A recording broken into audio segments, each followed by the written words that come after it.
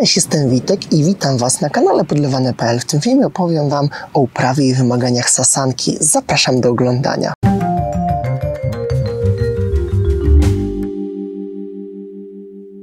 Sasanka to wieloletnia bylina należąca do rodziny jaskrowatych. Naturalnie występuje na terenie całej Europy, jednak w Polsce rzadko można ją spotkać na tych naturalnych stanowiskach. Jednak bez problemu możemy uprawiać ją w swoim ogrodzie, ponieważ powszechnie dostępna jest w szkółkach oraz centrach ogrodniczych. Jak możecie zauważyć, roślina cechuje się kępiastym pokrojem, a jej kwitnienie zaczyna się na początku wiosny, już na przełomie marca i kwietnia. Istnieje wiele odmian sasanki o różnych kolorach kwiatów. Ja tutaj mam chyba tą najpopularniejszą o fioletowych płatkach i żółtym środku, ale w sprzedaży znaleźć będziecie też mogli białe, czerwone, niebieskie lub różowe. Bardzo ciekawe jest to, że młode pędy i otaczające kwiat listki są bardzo włochate i fajnie to wygląda, ponieważ nadaje roślinie takiego lekko biało-srebrzystego wybarwienia.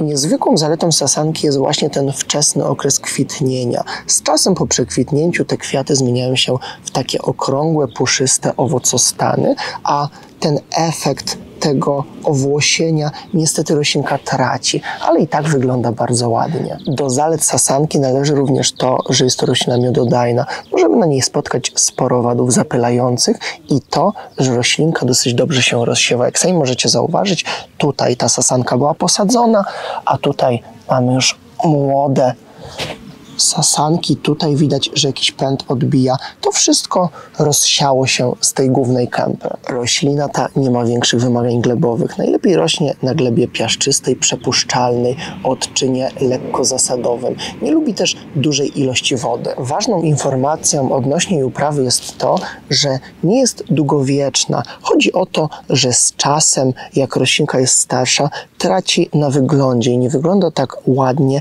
jak młode sadzonki, dlatego co 4-5 lat warto taką sasankę wykopać i podzielić na kilka mniejszych części. Tym samym odmłodzimy sobie tą roślinę i zapobiegniemy właśnie takiemu traceniu tego efektywnego wyglądu. Myślę, że nawet początkujący ogrodnik nie powinien mieć problemu z uprawą tej byliny. Na dziś to tyle. Bardzo dziękuję Wam za uwagę. Wszystkie ważniejsze informacje znajdziecie na dole w opisie filmu, a ja już się z Wami żegnam i do zobaczenia w następnych filmach. Cześć!